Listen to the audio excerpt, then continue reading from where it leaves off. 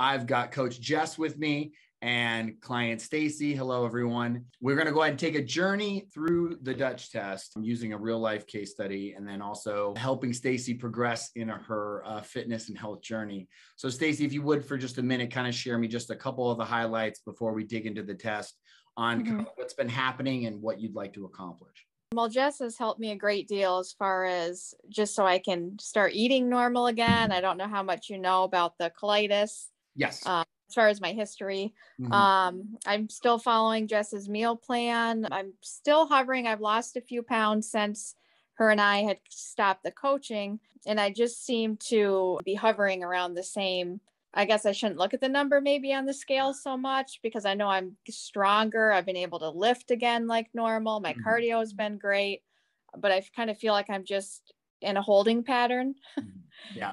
and I don't know if it's, you know, something I'm not taking in that I mm-hmm. should or something off with my body or yeah. that's where the frustration is. Great question. So just to update for the, the video for one uh, suffering from colitis. It's been about was it seven years? How many years has it been? No, actually, last September, a year ago, was when all of this started, and then I had my gallbladder out as well. Yeah, yeah. Okay, okay. And so, um, but history of dieting, I'm assuming, right? Um, Not, I've actually always kind of been like a clean eater, and I've always been super thin, so I never I've never had to ever in my life, this is the first time, try to lose any kind of weight. Mm-hmm. You know, I'd be able to change my diet up and literally in a week, I'd be like, okay, I'm back to normal, you mm-hmm. know, if I put on a couple pounds or something. So, like I said, I don't know. I know also with my age, if I'm premenopausal now, if any of that, you know, has anything to do with it either.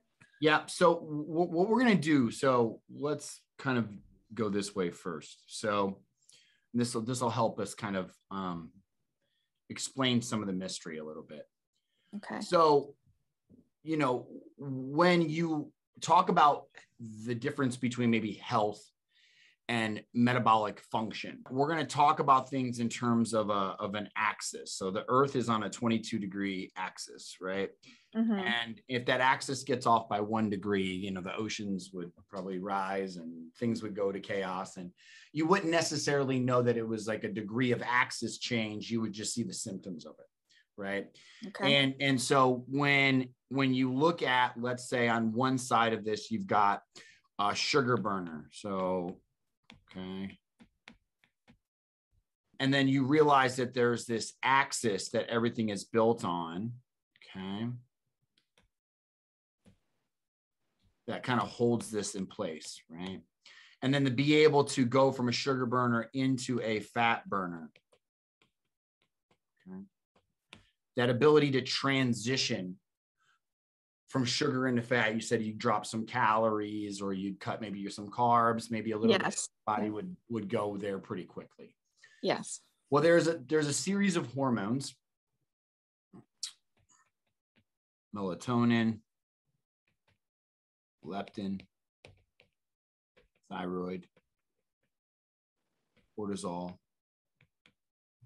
and then we could you can break sex hormones up up into you know maybe we'll call we're just going to go female hormones and male hormones. Because they're in both males and females but so that would right. be like your estrogen progesterone for females androgens testosterone for men. And all the metabolites. And and so the, one of the triggers that can really shift these you could really there's a there's a there's a hormone intermediary that I don't want to get too technical with, but if we wanted to add inflammation as a hormone, we could, or we can just describe it as inflammation is part of the trigger. So autoimmune diseases are highly hormonally related. Okay. Um, and and so what happens is as you put pressure on this system from inflammatory issues what starts happening is the hormones start to move. And the further they get off the axis, the harder this becomes. So you get blocked and you stay a sugar burner. Right. And then you'll notice that, you know, okay, so then things that I would usually manipulate to get me into fat burning i.e., maybe reducing my calories, which is known as K calories, maybe Mhm. dropping carbs, maybe increasing my workouts, right? Um, maybe some people taking fat burners or you know, whatever their their their thing is. The more that I push these, the more resistance I get. So even if I try these methods, it, it gets worse and, and it's shutting this down. And so I stay here. And the problem is when I stay here and I push harder, the body still stays in sugar burning. And when there's no sugar to burn, glycogen's been used, carbs are gone. I'm just eating muscle because protein can be converted into sugar. So, Okay. so that's why there's blocks coming. Now, there are also things that we do to our body to try to make our body force it into fat burning. And those things end up slowing our metabolic rate. So you've got what's called your BMR and your, you can, we call it race, resting energy expenditure, or total energy expenditure. We're going to go T D E E, total daily energy expenditure. So your BMR, basal metabolic rate, may be what you just burn resting, like if you didn't move. So that might be anywhere in the neighborhood of for you 1400 to 1800. But usually when you start pushing these things down, when you start, your body adapts to it. So you, what your whatever your BMR ends up being, it ends up dropping maybe to a thousand to 1200. Okay and then just moving and trying to work out and using energy as a way to reduce caloric impact. A, a typical person uh, might be around for you and your height, weight, size, whatever, 22 to 2400 calories total burn for the day. But now it might be down to 1400 to 1800. So you get Okay. these reduced metabolic ability because you're pushing on a system that won't hormonally budge. Right. And so then the second negative effect from hormone imbalance or your axis being off is reduced metabolic function because it's a because you're pushing and pushing and pushing and pushing. So it over time, when you stay there, it adapts. Okay. Does that make sense a little bit? Yeah, Yeah, it Like does. your eye is the light. Yes. Your body's going to adapt. You know, if you only fed it a thousand calories and you just kept losing three pounds a week, you'd die. Right. So adaptation is actually a survival component of the metabolism. It's just not good right now. Right. You don't want to adapt now. Like, no, no, no, no, no, no. Don't do that now. Do that, do that thing later. Right. Right. So, so ultimately, we're, we're fighting two battles, right? We're, we're, Mhm. we're fighting with this axis issue. And then we're fighting the adaptions of a system that's that that can't break the plane of fat. So you try different things and you keep pushing it. And it reduces, well, it makes our system more efficient. So now it'll work off of less, which isn't good when we want it to work off of more, so it'll burn fat resources. Okay. That's about as simple I can make a really complicated thing. Okay. And so then, okay, well, Vince, I see the big picture here. Um, what can we do about it? Right. Well, there, there's two ways to work this. There's the the metabolic angle, which it sounds like some of that Jess had done with you, and and you might be Yes. feeding up and doing alternative or you know alternative dieting systems or diet variation or you know there might be things here but we we might have to work your metabolism up here but there's also putting this back into balance right Okay. Right. Yeah.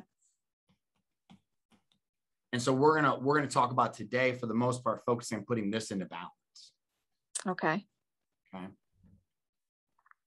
and how the best test that exists for this there isn't just one test right now currently my team and my medical team and and people are working on helping me get out a test that has everything in one the best test that exists currently in one is the dutch test right so this is Right. what we're going to use um, there can be other additional things you may want to look at later. But if you had to do a one off test that's going to make you feel better, that's going to make you look better, that's going to get you as hormonally optimized and your axis back online as possible, Okay. it's going to be this test. So then we're going to walk a journey of hormone optimization to re rekindle, respark, rebalance, whatever re you want to put at the end of that, your metabolic axis. Or no matter what you do, you're going to be, you know, beating a dead horse. And then it just, the more that you, you know, you can kick a horse into glue, but you just get stuck. Right. where you kind of find yourself right now, right? Mm-hmm. Oh yeah. So when when we look at this test, the first thing that you're going to see here is just your general uh, hormonal profile of your three. We'll call them your big three. Okay. Estradiol, progesterone, and testosterone. And generally, somebody that's in alignment is going to have the dials all the same. And as we see here, that's not the case, right? Right.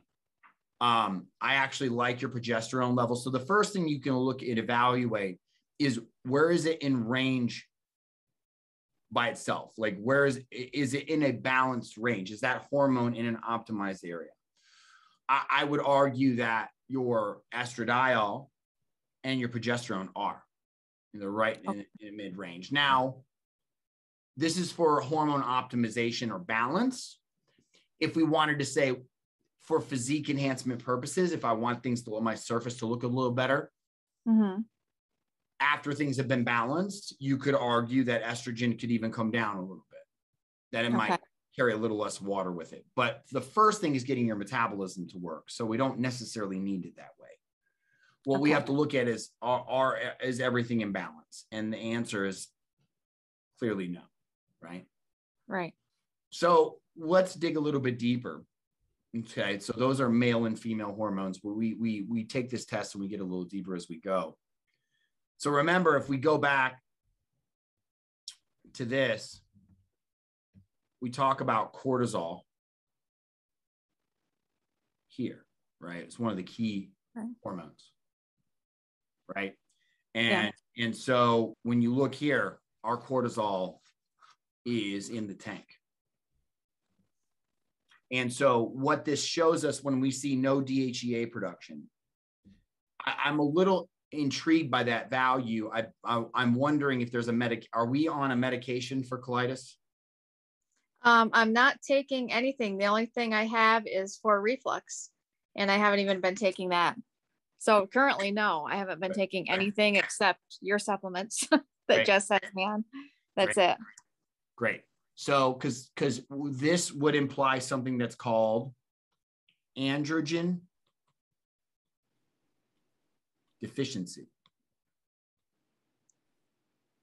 Okay. So you've got none of the hormones that build muscle. And that's a problem. And I don't know how long that's been a problem for you. Because that means every time you try to lose weight, you're losing too much muscle. And then when Right. you try to put calories back on or you bring calories back up, it's not being in, turned into muscle, it's all fat. Right. So if you do enough revolutions of that, this is part of what can happen